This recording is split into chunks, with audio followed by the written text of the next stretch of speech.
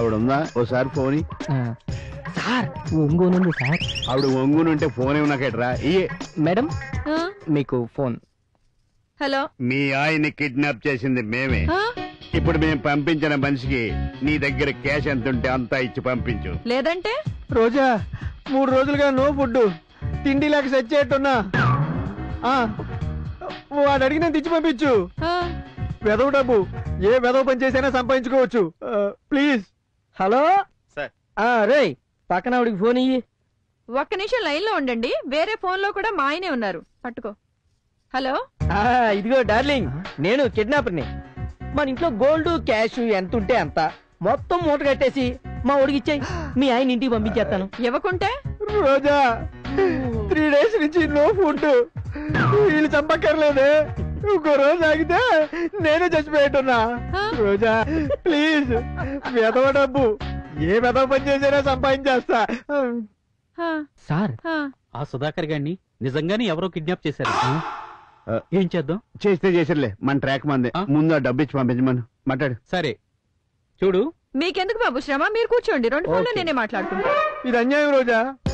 నేను చచ్చిపోతానని అప్పుడే కన్ఫర్మ్ చేసుకున్నావా? వేరే ఉండేవాడు మా ఆయన అన్నావేంటి? అయ్యో లేదండి. మా ఆయన ఇంకో ఫోన్లో సేమ్ కండిషన్లో ఉన్నారు. ఇది చాలా అన్యాయం రోజా. నేను చచ్చిపోతానని కన్ఫర్మ్ చేసుకున్నావా? అప్పుడే వేరే వాడిని చర్చ చేసుకున్నావా no I wanted to know who's my original husband వసే రోజా.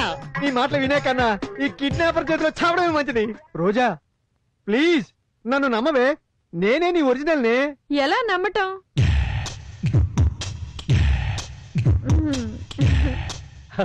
గురుగారు. సిగ్గుపడుతోంది. సిగ్గుపడుతుందో కింద పడుతుందో ముందు మన డబ్బు మనకి ఇమ్మనండి. నీ ఖాళీ మీద ఆ, అక్కడ చూసుకో. అక్కడ పుట్టుమచ్చు ఉంది కదా. కరెక్టే కానీ ఏ కాలు? అబాబా కాలు అని చెప్పినోడిని ఏ కాలో చెప్పలేనా? శ్వాస పక్కన పడిపోతుంటే ఏంటి నీ పరాజకాలు Roja I am your original హా, ఆ తర్వాత నాకంతా తెలుసు కానీ ఆల్రెడీ ఒకసారి సిగ్గుపడ్డా. పుట్టుమా చే కాలు మీద ఉందో చెప్పండి చాలు. పుట్టుమచ్చా? నాకెప్పుడు చూపించావు? అయినా ఇదే ట్విస్ట్ నోరు మీరా రాంగ్ నెంబర్ పుట్టుమచ్చ తెలియకుండా డబ్బు కొట్టేద్దాం అనుకున్నావా రాస్కెల్ ఫోను ఆ కిడ్నాపర్ గాడికి ఇబే వాడిని చంపుకుంటావా నరుక్కుంటావా నీ ఇష్టం. వాడి నా మొగుడు కాడు. మీ పర్సన్ కూడా ముందు ఇక్కడ నుంచి వచ్చేయమని చెప్పు. లేకపోతే పోలీసులకు పట్టిస్తా. యాండి రోజా? దేవుడున్నాడండి. మోసం ఓడిపోయిందండి. వాడు నా పుట్టుమచ్చి చెప్పలేకపోయాడండి. మీరే నా అసలు మొగుడండి. ఈడెంత దరిద్రుడేట్రా? ఈడు పెళ్ళమే ఈడిని చీకొట్టొద్దనుకుంటా మీరేనే ఉంచుకోండి సార్. ఇంట్లో ఉన్నదంతా మూట కట్టిచ్చేస్తున్నాను మీరు త్వరగా ఇంటికొచ్చేయండి. థ్యాంక్ యూ రోజా. హా? అబే అదేం లేదు. ఒక్కసారిగా జీవితం మీద ఆశ కలిగేసరికి గొంతు మారిపోయింది. వచ్చేటప్పుడు జిలేబీ మల్లెపూలు ఓ ప్యాకెట్ కూడా తీసుకొస్తానే? ముందు కుమ్మేసి బయటికి సార్. ఉంచుకోండి సార్. శ్రీనివాస్ గారు మీ మిమిక్రీతో మీ కూతురు డబ్బు మీకు వచ్చేసింది. Thank you. ఇదిగో మూడు లక్షలు. వెంకటేష్ మీరు తీసుకో. ఇది నాకు. గురుగారు ఎక్కువ ఇచ్చానా? అబ్బే లేదండి. మీకే ఎక్కువ మిగిలింది కదా అని. ఇవి మిగిలిన డబ్బులు కాదండి. మిగిలిన వాళ్ళకి ఇవ్వాలిగా. ఓహో. ముఖ్యంగా షేలాకి. నెంబర్ ఇచ్చిందిగా. టిష్యూ ఏదైనా టిష్యూ పేపర్లా విడదీసి వివరం చెప్పే ధైర్యం గల నేచర్ లక్ష్యాలేవైనా లౌక్యం చూపిస్తే నీ ముందే నిలబడుతుంది ఈజీగా ఫ్యూచర్ ఎప్పుడూ డబ్బు తీసుకొచ్చి డొనేట్ చేస్తారు కానీ ఒక రిసిప్ట్ అడగరు తన పేరు చెప్పరు. Strange personality. ఇదిగోండి పదివేలు. వంద తక్కువ. నేను వాడుకున్నాను. Thank you sir.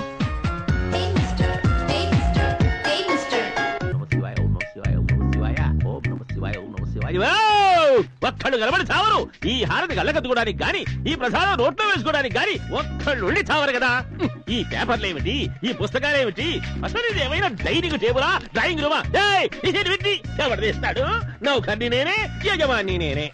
ఆహా ఏవే ఏ క్లాసు నువ్వు? ఇంటర్మీడియట్ ఇంటర్మీడియట్ ఎల్కేజీ యూకేజీ కాదుగా. నా జీతం అంతా చాక్లెట్ రూపంలో నాకి పారేస్తున్నావు. పొద్దున్నే ఏ ఇడ్లీయో పెసరటో తిని చావచ్చు కదా. అద్దుకు చావు హారతి. ఆ చాక్లెట్ తింటే పురుగులు పడతాయిట. ఎవడో సినిమా యాక్టర్ చెప్పాడు. ఏది మీ అమ్మగారు? గంట కొట్టగానే పూజ అయిపోయిందని కాఫీ దగ్గర తెలీదా! కాఫీ! వచ్చేస్తున్నానండి. తెచ్చే వరకు. పరమేశ్వరా, నిజంగా గిరీశం గారు చాలా గ్రేట్ నాన్న ఆ. ఈ రోజుల్లో చేయి దాటిపోయిన రూపాయి తిరిగి రావడం ఎంతో కష్టంగా ఉంటుంది. అలాంటిది గిరీశం గారు మనకి ఇచ్చిన మాట ప్రకారం ఇవిగో మన డబ్బులు మనకి ఇప్పించారు ఏమిటి గబ్బే జగన్మోహిని చూసావుటే పెదవది నా కష్టార్జితమే. ఎక్కడికి పోతుంది? వాడెవడు? వాడు ఆ, గిరీశం గారు. ఆ, గిరీశం పుణ్యమాని నా డబ్బు నా లక్ష్మీదేవి నా గడప తొక్కుకుంటూ లోపలికి వచ్చేసింది. అవునండి. చెట్టంత కొడుకు ఆత్మహత్య చేసుకోబోతుంటే వాణ్ణి ఆపి పువ్వుల్లో పెట్టి మనకు అప్పగించాడు. ఈ రోజు వాడు మోసపోయిన రెండు లక్షలు మళ్ళీ మన కళ్ళ చూపాడు. ఏ తల్లి కన్నబిడ్డో ఆ తల్లి కడుపు చల్లగా ఉండాలండి. లెక్క పెట్టావా? లెక్క పెట్టి చచ్చావా? నువ్వెందుకు లెక్క పెట్టావురా? నీకు అసలు చిన్నప్పటి నుంచి ఎక్కాలే వచ్చి చావు కదా? ఈ మధ్య ప్రతి కట్టకి మూడు నాలుగు రోడ్లు నొక్కేస్తున్నారు వెనవలం ఈ రోజుల్లో కూడా ఇలాంటి వాళ్ళు ఇంకా ఉన్నారా? చుట్టుపక్కల ఏం జరుగుతున్నా మనకెందుకులే అనుకునే వాళ్ళ మధ్య? తోటి వాడిని కాపాడటం వాడికి జరిగిన అన్యాయం పట్ల స్పందించి సాయం చేయడం నిజంగా గ్రేట్. ఆయన పేరేంట్రా? గిరీశం అక్క గిరీశం? హ్మ్, భలే ఉంది పేరు.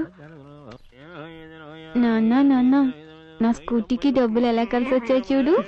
అమ్మా నువ్వు లక్ష్మీదేవే ఆ లక్ష్మి నీకే కంగారు పడకు. ఆ ఇస్తారే ఎందుకు ఇవ్వరు అడ్డెడ్డెడ్డెడ్డెడ్డె. ఏం పంచుకుంటున్నారే మాటలు? డబ్బులు కనిపిస్తే దారు దానికి పట్టు చీరలు దీనికి స్కూటీలు. ఏయ్, ఎన్ని మార్కులు వచ్చినాయి నీకు? ఆ? కోటలియేగా? వంద వచ్చాయి నీ బొంద వచ్చాయి మొత్తం అన్ని సబ్జెక్టుల్లోనూ కలిపి వచ్చాయి. నాకు తెలియదు అనుకుంటున్నా వాట మరి ప్రతిభా పాఠవాలు? డబ్బులు కనబడితే దారు స్కూటీలు మ్యాటీలు దర్మస్కా నాకయ్యది. గిరీశం గారు ఎక్కడైనా కనపడితే ఒక్కసారి మన ఇంటికి భోజనానికి రమ్మని పిలవరా. అలాగే నాన్న. ఏమిటి అలా చూస్తున్నావు? మీలోనూ మంచి మనసు ఉందండోయ్. మీరు ఒకళ్ళని మెచ్చుకోవడం వాళ్ళని మన ఇంటికి పిలిచి భోజనం పెట్టడం. నీ వీపు బాగా చిట్ట కొట్టడం కాఫీ బాగుందనని చెప్పి రెచ్చిపోవాక ఆహా. నేను ఆఫీస్కి ఆ, వెళ్ళి వెళ్ళొస్తాను తగలడు. అబ్బే, చచ్చావు. నేను ప్యాంటు చొక్కా అన్ని రెడీగానే మరిరా? ఉన్నాయండి. మరి మ్మ్, టిఫిను. టిఫిన్ కూడా అబ్బా, రెడీగానే ఉంది. ముందు ఈ లక్ష్మీదేవి మీరు అలా పెట్టాలి. అలా తీసుకురా.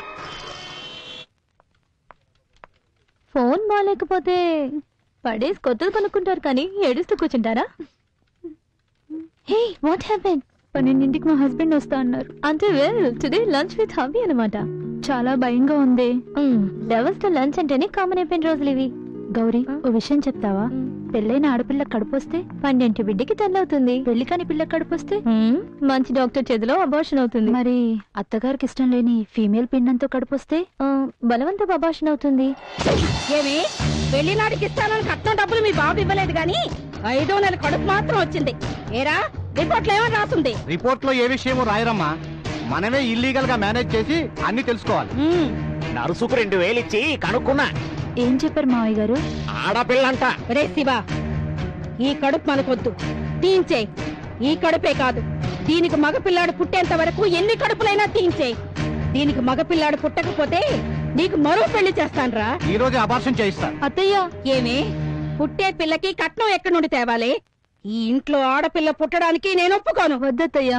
ఆడపిల్లని కడుపులోనే చంపడం మహాపాపం. ఏమే నోర్లేస్తుంది నీ మాట విని బిడ్డను కన్నిస్తే నన్ను నా కూతుర్ని కెట్నాలు పోసి తగలబెట్టవు. నాకు అంత అదృష్టం కూడానా? పన్నెండు గంటలకే మీ ఆఫీస్కి వస్తా. అట్నుంచి అంటే డైరెక్ట్గా హాస్పిటల్కి నో నేను ఈ బిడ్డను కంటాను. ఇదే నీ ఆఖరి మాట అయితే నా ఆఖరి మాట కూడా విను. నువ్వు ఈ అబార్షన్ ఒప్పుకుంటే ఒక హత్య జరుగుతుంది. లేకపోతే వంట చేసేటప్పుడు సిలిండర్ పేలి రెండు హత్యలు జరుగుతాయి. శివ మళ్ళీ పెళ్ళి చేసుకుంటాడు. మళ్ళీ కట్నం వస్తుంది. ఆలోచించు.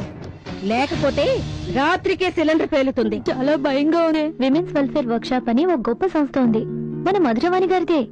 స్త్రీలకు ఏ అన్యాయం జరిగినా నేనున్నానంటూ ముందుకొస్తుంది. ఉండు నా దగ్గర నెంబర్ ఉండాలి ట్రై చేస్తా.